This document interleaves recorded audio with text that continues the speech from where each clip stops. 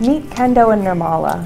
Both girls were seriously injured during the April 2015 Nepal earthquake. Each had a leg amputated in order to survive. Handicap International staff took them into our care immediately after their surgeries. Thanks to our donors, they are still receiving the rehabilitation they need to recover. The girls have become inseparable friends.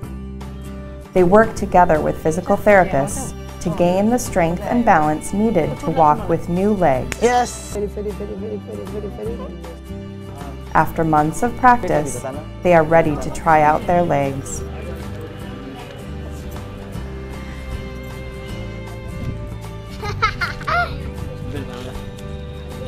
Their physical therapists help them gain the confidence needed to walk without assistance.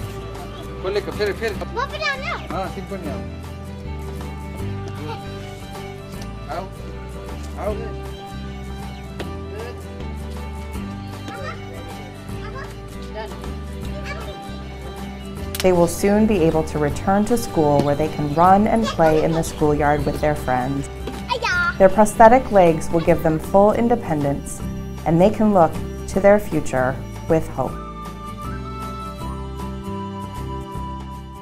In the hours, weeks, and months following the earthquake, people like you donated $2.6 million for Handicap International's emergency response in Nepal.